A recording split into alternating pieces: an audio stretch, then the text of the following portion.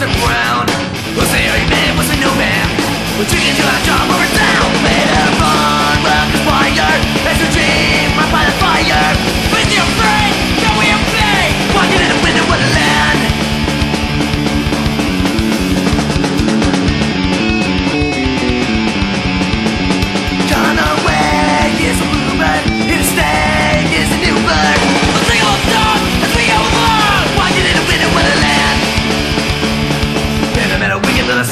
man. Then we get to circus clown.